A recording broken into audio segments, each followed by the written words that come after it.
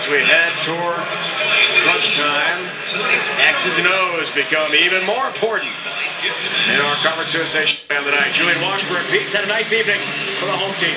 Hitting that mid-range jumper. He's not a three-point shooter, but that pull-up game, Dave, he's knocking it down. Great defender, gets out in transition. Terrific hops, very talented play, had a wonderful freshman year. Year, great defensively, Dave, but his offense was just a little spotty. But he's having a terrific job offensively tonight. From Duncanville, Texas, in the Dallas Metroplex, 15 points for Washburn tonight on 5 of 8 shooting from the floor.